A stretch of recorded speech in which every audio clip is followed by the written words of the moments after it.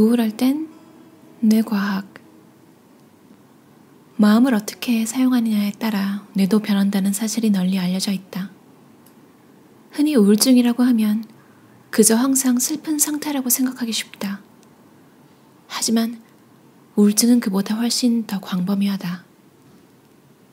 사실 우울증에 걸렸다고 해서 꼭 슬픔을 느끼는 것은 아니다. 예전에 재미있어 했던 일이 더 이상 즐겁지 않다. 음식도, 친구도, 취미도, 기력도 급속도로 떨어진다.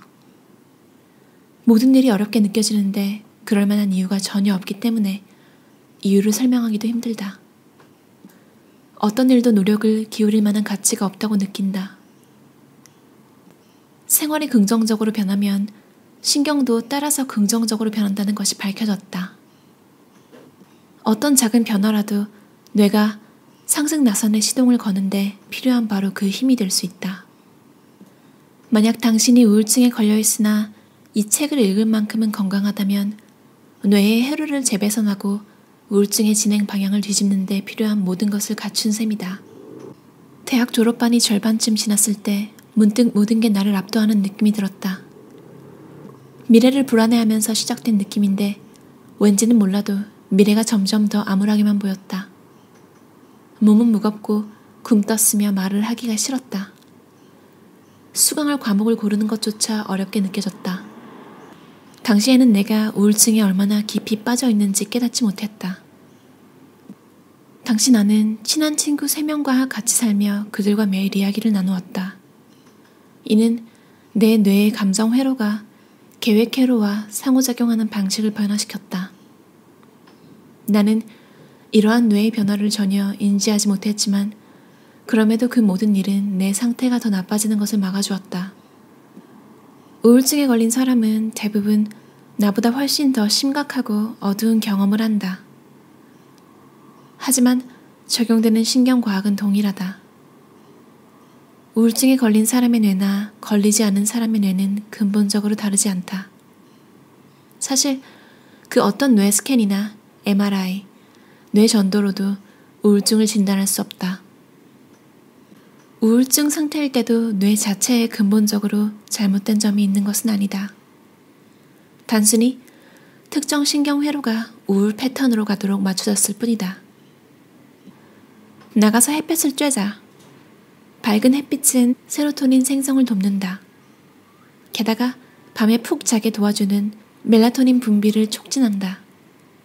그러니 실내에만 틀어박혀 생활한다면 한낮에 적어도 몇 분은 바깥에 나가도록 노력하자.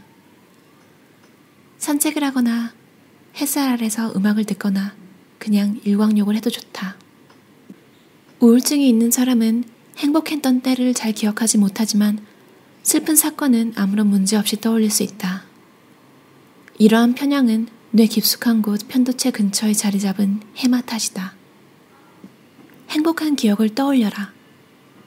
행복한 기억은 전방 대상 피질에서 세로토닌을 증진시킨다. 잠들기 전에 행복한 기억을 한 가지씩 떠올려 보라. 일기장에 써도 좋고 그냥 그 기억을 반추하는 것도 좋다.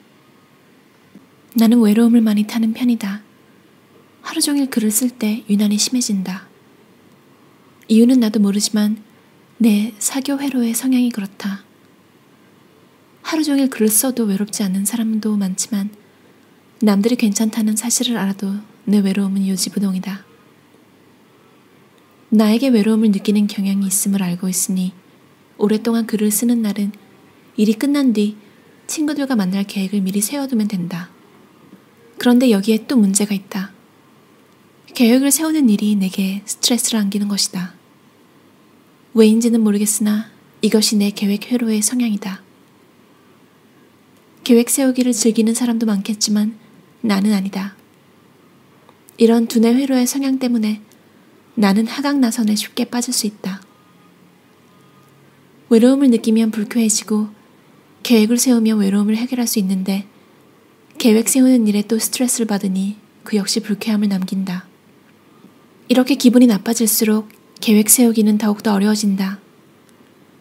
마이크와 스피커가 상호작용해 귀를 찢는 되먹임 소리를 만들어낼 때처럼 이두 회로는 서로 먹고 먹히면서 상황을 통제할 수 없을 만큼 커다란 눈덩이로 부풀리는 것이다.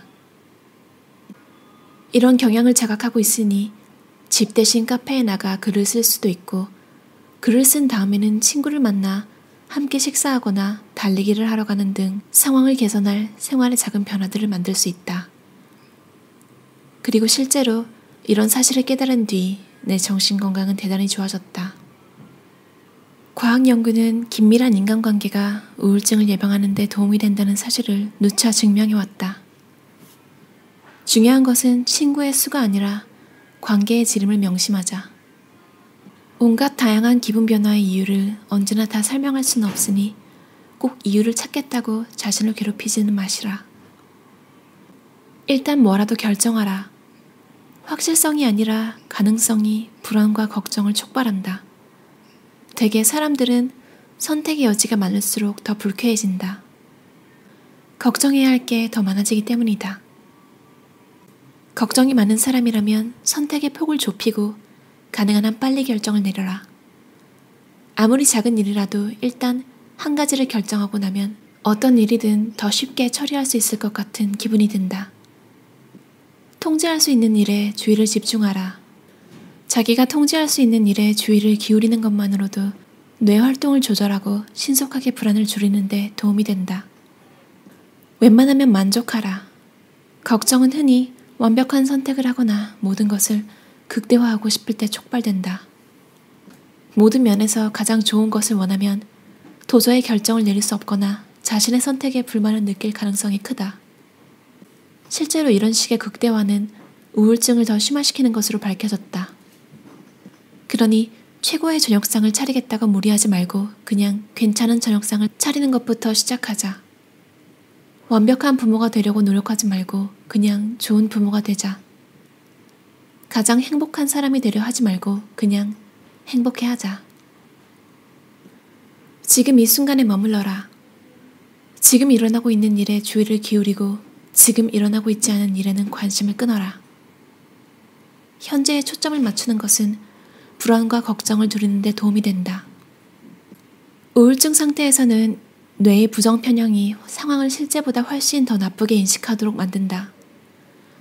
솔직히 현실은 보이는 것보다 더 낫다. 당신의 인간관계는 그만큼 엉망이 아니고 당신이 하는 일은 그렇게 무의미하지 않으며 당신의 능력은 당신 생각보다 훨씬 뛰어나다. 포옹으로 편도체의 반응성을 낮춰라. 포옹, 특히 긴 포옹은 옥시토신이라는 신경줄단 물질이자 호르몬을 방출하는데 이 옥시토신은 편도체의 반응성을 떨어뜨린다. 부정 편향을 줄이는 방법은 운동하기, 밤에 숙면 취하기, 마사지 받기처럼 놀랍도록 단순하다. 유혹에 저항하는 것보다는 처음부터 유혹을 피하는 것이 더 쉽다. 운동한다고 생각하지 말고 활동적으로 지낸다거나 재밌게 논다고 생각하면 감정적인 효과가 훨씬 커진다. 운동을 하면 잠을 더 잘 잘 수 있다.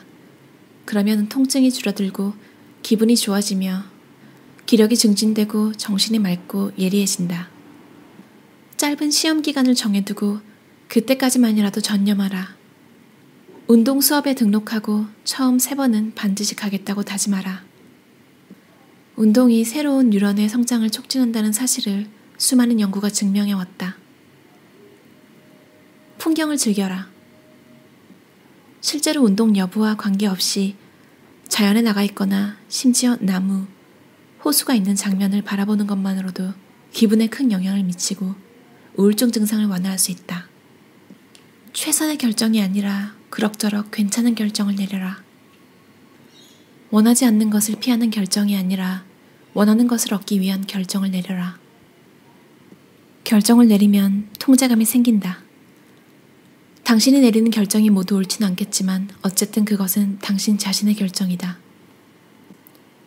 결정하면 걱정과 불안이 줄어든다. 이 책으로 제가 기분이 다운되어 있고 결정을 못 내릴 때 되게 도움을 얻었는데요. 정말로 제가 고민하던 것들이 제가 너무 욕심이 많아서, 욕심이 많아서라기보다 어떻게 하면 최고의 선택을 할 수 있을지 제가 가진 조건에서 너무 고민을 하다가 지쳐버렸던 거예요. 그래서 그냥 결정을 정말로 하고 나머지 가능성을 그냥 배제해버리니까 마음의 평화가 찾아오더라고요. 적당한 것에 만족하는 습관을 가지는 게 행복하게 사는 비결인 것 같아요. 그럼 좋은 하루 되세요.